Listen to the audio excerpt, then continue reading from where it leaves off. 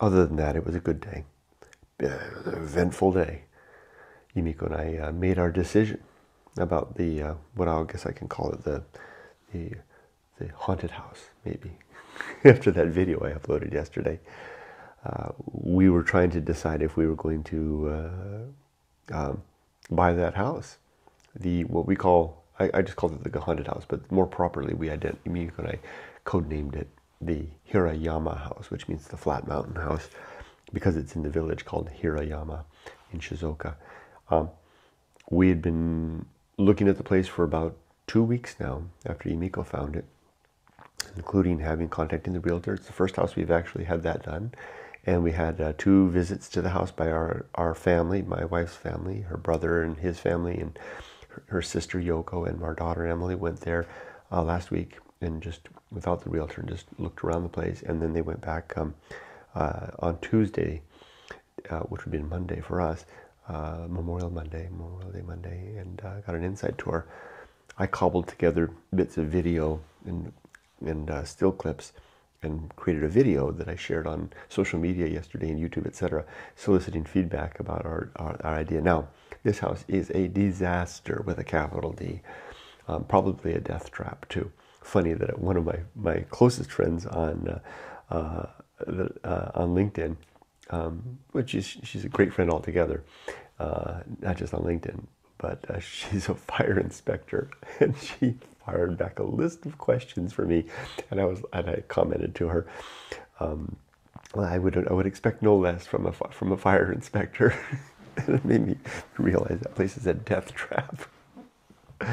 anyway, even before all of that, I had posted on all the social media the video, and it was a long video, 13 minutes, cobbled together with eerie music, etc and with a simple title of Should Yumiko and I buy this house for $25,000, house in Japan for $25,000, and then the tour. And if you see it, you'll see just what a uh, disaster it is. I mean, it is a ghost house. It would require a lot of work to just be livable again.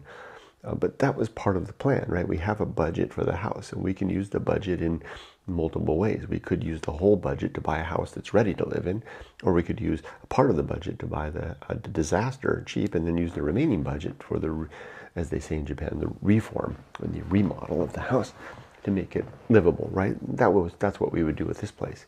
The main attraction to this place was the location, which is our highest criteria, number one criteria to to find a place that's countryside yet close to the city, close to Yumiko's family, close to, to close to amenities. And this house in the village of Hirayama is square in the target of that. That's our number number one criteria. In fact, I have a spreadsheet that's all laid out, and I weight these criteria. Yumiko and I score the houses, and I give them a weighting, and they, and and and uh, the attraction gets a heavily weighted um, positive uh, score. And it, by in doing so, this house rose to the top of the list. There's currently four houses on the list. Rose to the top of the list, and the next houses below it are quite a ways down in terms of score. Um, uh, and then there is one house. Well, and I, I, I, had a great conversation with Yumiko earlier in the week during our our walk uh, on, on a slightly different topic, but we came up with the concept of. I was sharing with her the English concept of the white whale. You know, in, in Ahab, I told her about Moby Dick and uh, how you can be distracted and miss out on opportunity by virtue of our hunt for the white whale. And I told her that, um, you know, the another house in a similarly sounding community called Hira, Hira, Hirasawa, not Hirayama, but Hirasawa, is the house that we're after. And I told her that's our white whale. The problem is we can't contact the owner, though, despite our efforts to try to buy the place. So Hirayama is on the Hirasawa is on the list, this Hirasawa house, but we can't plug in data or we can't even make it real because it's like it's like the white whale on Moby Dick. We don't know where it is. We can't reach it. We can't get to it, and we may sail past opportunities in our search of the white whale. So how did all this end? After I posted, keeping the white whale in mind, keeping Hirasawa House in mind, after I posted on social media in all the various places that I do the video and the, the request, um, long five paragraph description of our, of our criteria and interest and a request for comments, an RFC, so to speak, to use the lingo. Um, within about 30 minutes, my phone rang. I was sitting out in the garden playing guitar and the son and and uh, Yumiko was still working because she. I started earlier than her, so I finished the day earlier than her. So I was sitting out there playing the guitar, and Yumiko was still working, and the phone rang, sitting next to me. It was Emily, calling online. And I answered it, and immediately jumped up and went inside and uh, put the speakerphone there with Yumiko. And it was an intervention. Now, Emily had been to the house. She's in Shizuoka right now. She's staying with her family there. She had been to the house. She had talked to the realtor.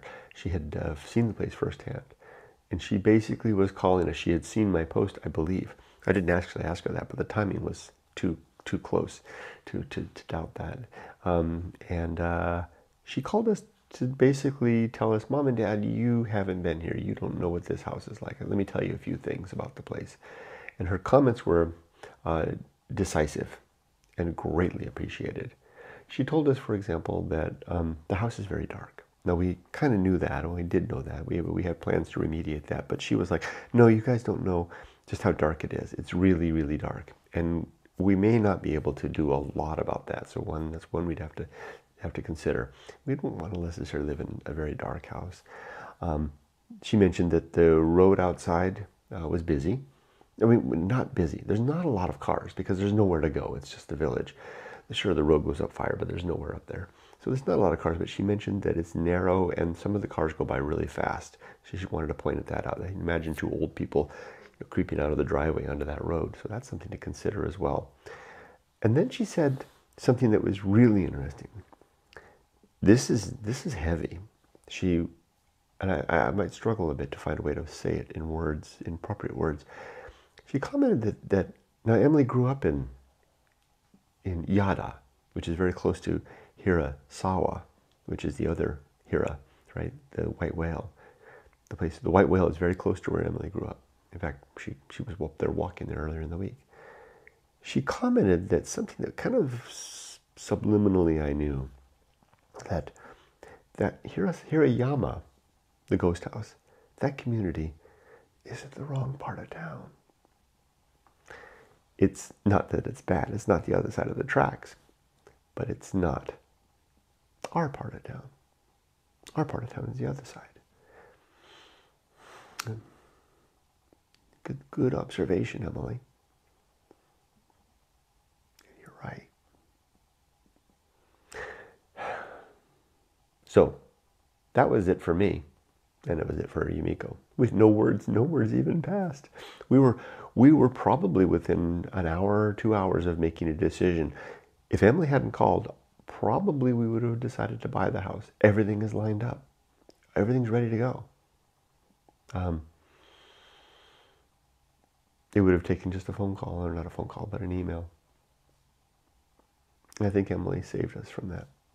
Now, sure, and and you, we could make Hirayama work, and we could make Hirayama our community.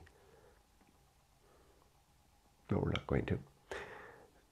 Not just for the reasons Emily pointed out, but they were kind of the clinchers. Something inside of both Yumiko and I was was not quite right with that house, not quite right.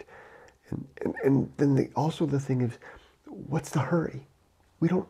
We're not in any hurry. There's not a timeline at all. I mean, the, in fact, it would be optimal if we go over and just find the community that we want to live in, like Hirasawa, the other Hira, and rent an old house there.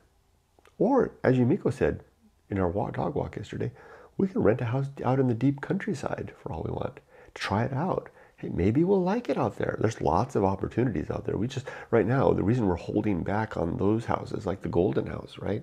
I love the Golden House and the, uh, the Wasabi Village House those are the other two houses on the list that are on the on the top five list. So there's the Hira, Hirayama house, the Hira, the Golden House, the uh, Wasabi Village house, um, then the um, Hirasawa house. So there's four on the list. The only reason that the other two, the Golden and the Wasabi Village house, are are not seriously being considered. They're just too far away. They're 50, 50 about 53, 55 minutes.